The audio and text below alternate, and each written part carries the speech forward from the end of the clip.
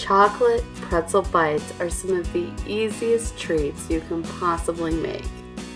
These require very little cooking and in no time you can make treats for everyone. These have just a few ingredients and one is bite-sized pretzels. Now you can use the pretzels that come in squares. Those work really well.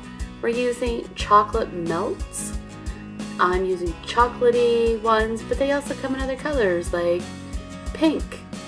And we're going to use M&Ms. That's all we need.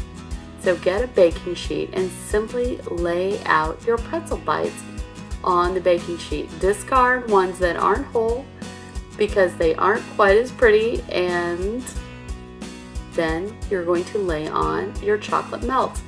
Now you can use expensive chocolate here or you can use the melts that you find in craft stores.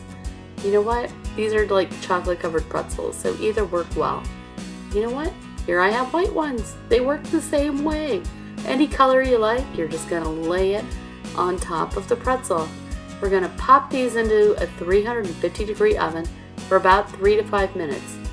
They melt somewhat, they don't melt all the way, you just wanna soften them. And then all you do is take an M&M and put it on the top. How easy is that? You know what? It doesn't get much easier than that. You can make them for Valentine's Day with holiday M&Ms and you can do ones for St. Patrick.